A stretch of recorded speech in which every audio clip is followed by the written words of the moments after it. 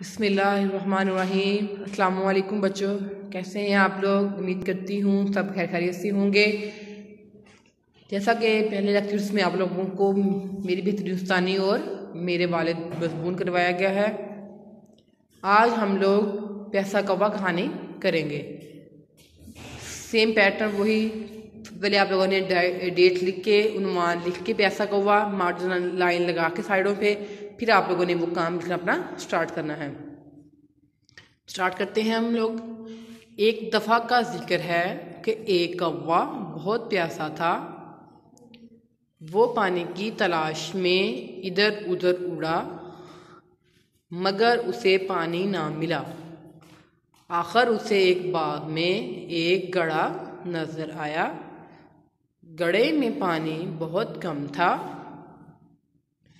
कौवे की चूंच पानी तक ना पहुँच सकी। उसे एक तरकीब सूझी उसने करीब पड़े कंकर एक एक करके गड़े में डालना शुरू कर दिए। पानी ऊपर आ गया। कौवे ने जी भरकर पानी पिया और उड़ गया। नतीजा है इसका खुदा उनकी मदद करता है, जो अपनी मदद आप करते हैं। ये है बच्चों आप लोगों की प्यासा कौवा कहानी। इसको आप लोगों ने अपनी नील नोटबुक पर राइट करके अच्छे से इसको लर्न कर लेना है। अपना बहुत ख्याल रखिएगा। अल्लाह हाफिज़।